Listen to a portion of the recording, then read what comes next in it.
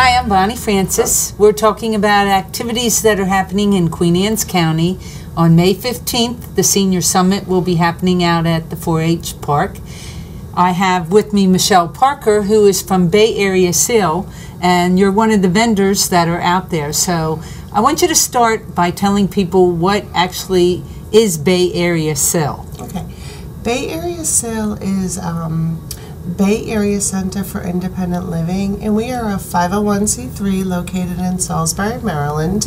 We have a uh, virtual office in Easton as well, and we cover all nine counties on the Eastern Shore, from Somerset, Worcester County, all the way up to Queen Anne's and um, Cecil County. Okay. So uh, we do cover those areas, and we help all folks, all ages, all disabilities. So we're not limited to any one group. Right. Um, we uh, focus on five core services at Bay Area CIL, those being mentoring, advocacy, independent living skills training, information and referral, and transitioning. And transitioning can be youth uh, transitioning out of high school or transitioning out of nursing homes or staying out of nursing homes. That's our main goal. Um, we have several different programs that help folks navigate. Um, those being Maryland Relay, which is a telephone program, which is it's free. There's an application process involved. You do have to have a landline, and somebody will come out and assess you. And what they'll do is they will fit you with the best phone that works for you, whether it be your hard of hearing, your low vision, um, you have problems pressing the buttons, maybe your mobility is not as good as it used to be. So they'll fit you with the best phone that will work for you. Um, we also have an assistive technology lab that will um, allow you to come in and look at some devices that might work for you, and you want to try them out before you buy them so that they're not you're getting able to kind of get a taste and a feel of what you're getting into rather than just going out and buy something that won't work for you. Right. Um, so we, we do have that lab. We also help fund um, certain items that you may need that you can't always afford. And it, it definitely has to be a need, and it's going to help you to be more independent. Our goal is that you maintain independence. So if there's an item that, you know, is you know, might cost a little bit too much money and you maybe only have part of the money, we can help you find the additional funding to go ahead and purchase that piece of equipment that's going to help you in your activities of daily living or your life so that you're just that more, much more Now, does someone come out and evaluate if you really need that item, or how does that work? Well, it's based off of really what the item is. Okay. If sometimes things are prescribed by doctors that aren't always covered by Medicare Okay. or Medicaid, so it could be that type of a device, or maybe it's a you know a low vision device that you know you're not quite eligible for anywhere else. That's Okay. going to help you to you know read read items, read cards, read prescriptions, or you know hear something a little bit better, whether it be a hearing aid or um, any type of device. And you know there's no one set criteria that says oh it's you know it has to be this this or this. Right, If you think it's going to help you be independent,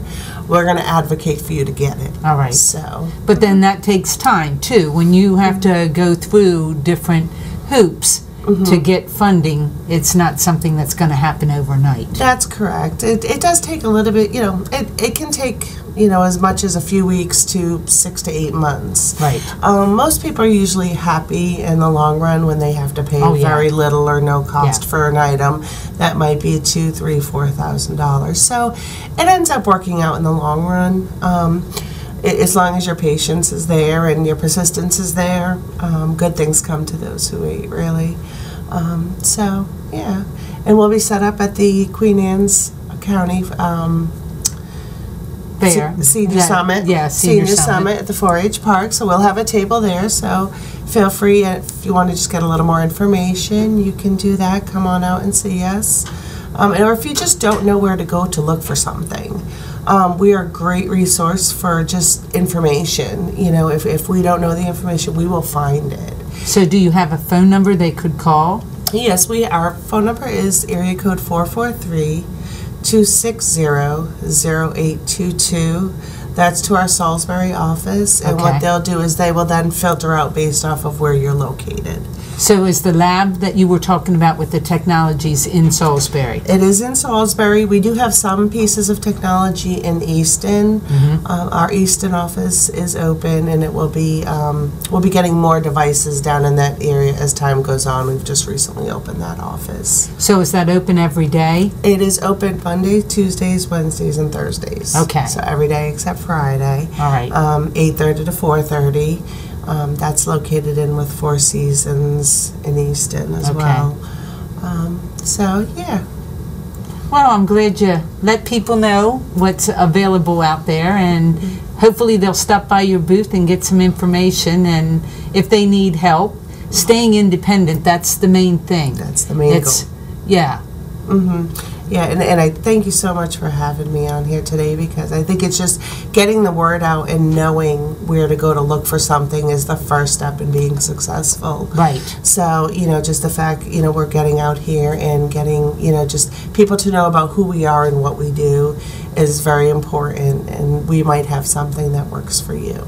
So, Well, and even family members, if they, mm-hmm. you know, they're not sure, should their parents stay home alone or, or are there resources that could help them, mm-hmm. that would give them that information. Even though it's a senior summit, it could be, you know, family members that are concerned about a mm-hmm. senior staying home alone. absolutely. We have a lot of folks that are um, care, caregivers, mm-hmm. caretakers, um, and they're looking for something to give them a little bit of, of assurance to know that if they have to leave to go to the grocery store to get mom and dad something, um, that they're going to be safe and they're going to be okay by themselves for a while. So, you know, we might just have that piece of device or that resource that's going to have you, you know, be successful in, in being able to go out and do what you need to do to keep them home. Right. So, Well, we thank you for coming in, Michelle, and hopefully you. they'll stop by the booth and see what, what all you have to offer them. that's great. Thank you for having me, Bonnie.